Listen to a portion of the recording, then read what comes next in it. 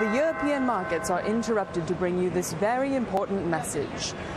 Happy birthday to you. Happy Oh, wow. birthday Thank to you you. Happy birthday, dear Simon. Wow, Happy thank you. birthday Wow. to Is it someone's birthday over here? Thank you very much. Look at that. And Kenny No here. expense spared. today? I Network think- television. Don't you love it? Thank you very much, everybody. And I That's th- very kind. Never ask I think Kenny just wants a piece uh, of this yeah, scone. I do Am want I, a right, piece am I right am I right? He said it's going, but I, I don't, I'm not being offered it. Here you are. Take it. Take it.